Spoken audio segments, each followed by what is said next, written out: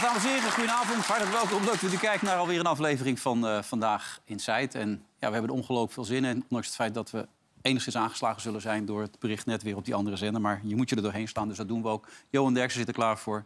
Job Knoepert, René van der Grijp en Raymond Mens, dames en heren. Ja.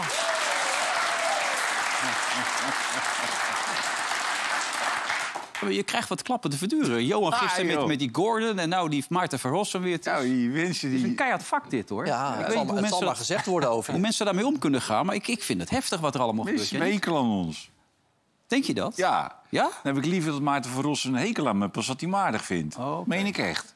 Maar platte pret voor mensen met een beperkte intelligentie. Het zijn nogal uitspraken. hoor. Zelfingenomen kwal, Ik, joh. eh, Nee, hij is echt een zelfingenomen ik kwal, denk die dat man. we gewoon met z'n vieren nu naar de rechter moeten. Job, Eigenlijk sta je wel, erin? Ik vind het zo dom om iedereen maar dom te noemen dat je daar geen woord aan vuil Nee. maken. Dus dat dom Ja, maar die man denkt werkelijk, als hij aan een, ta- aan een talkshowtafel zit... er zitten vier man, dat hij alleen aan het woord mag. Ja.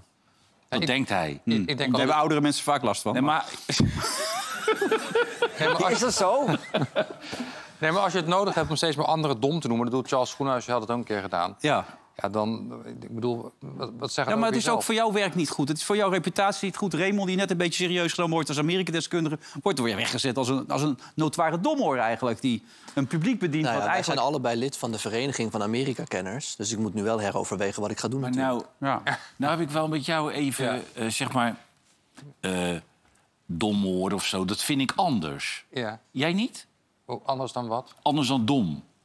Nee, ik vind allebei... Ja, nee, nee, maar ik heb altijd het idee... als je iemand dom noemt, Ja. dan vind je jezelf intelligent.